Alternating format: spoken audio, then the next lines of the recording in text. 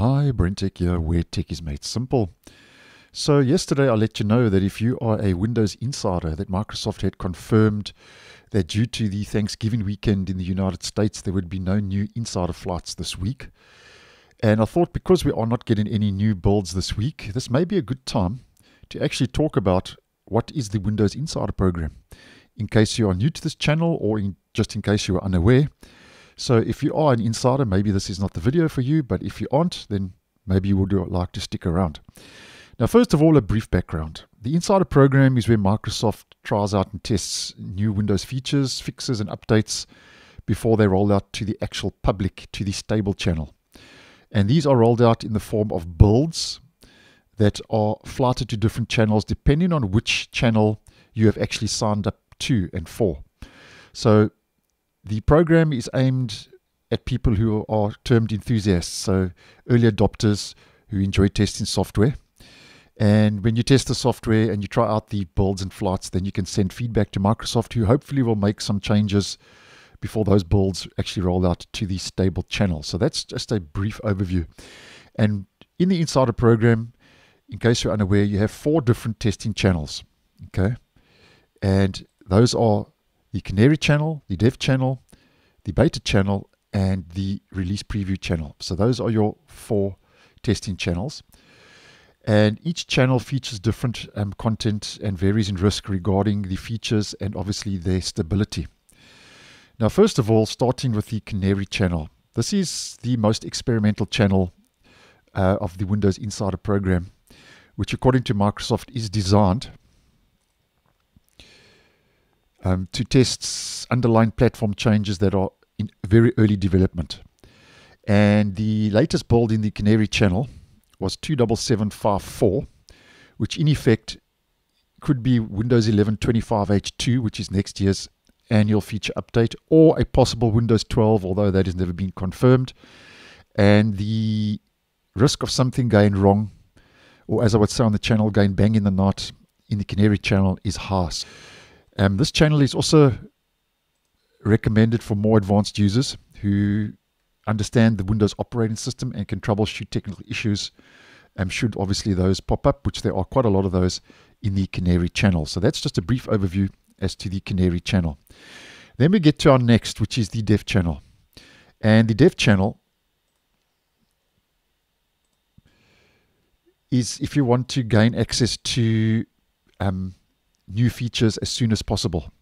So this is where Microsoft often launches new features that are in active development and they roll out to this channel first. And if we click on the latest build in the dev channel, this was build 26120.2415. And that in effect, they are um, testing 24H2, which is the current stable release, but the platform is designed around 24H2 and the risk of something going wrong is medium in the dev channel. Now, as mentioned, this is if you want to gain access to new features as soon as possible. And this is also where Microsoft trials out new feature ideas and experiments. So this means that not every new feature you receive will actually ship. And while most do, some may never surpass the initial testing phase based on user feedback or Microsoft's change in strategy. So that's more or less what the dev channel is all about. Then moving on to the next one, and this is the beta channel. And the beta is, if you're new to the program, this is where Microsoft recommends that most users join the beta, uh, the insider program by signing up to the beta channel. And it's also the channel where Microsoft tests features that are intended to actually ship. So there's a better chance of uh, features in the beta channel shipping than, as an example, in the dev or the canary channel. So the, these features are usually in a more stable state and they are further along in the development cycle and closer to representing the final product. And if we click on the latest beta channel build, um, this is still running on Windows 11 23H2, which is last year's annual feature update.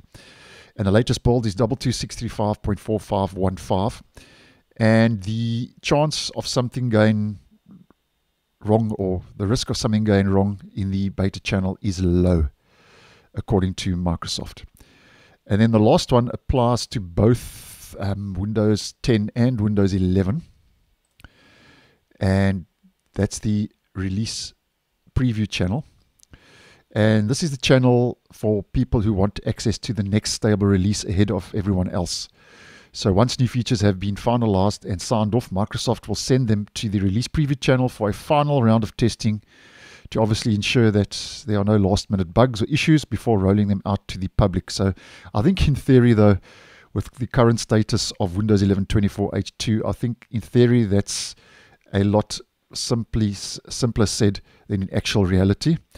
But nonetheless, moving on. And as mentioned, you get uh, two builds in the release preview one for the um, Windows 10 and one for Windows 11. And the latest build for Windows 10, if we just head over to that, is 19045.5194. So that's Windows 10 22H2. And the latest build for Windows 11 is 26,100.2448 and that's still based on Windows 11 24H2, which is the current stable release as well. So um, I hope that gives you a little bit of extra insight into the the Windows Insider program, consisting of the Canary channel, Dev channel, Beta channel, and Release Preview channel. And I hope you found the video useful. So thanks for watching, and I'll see you in the next one.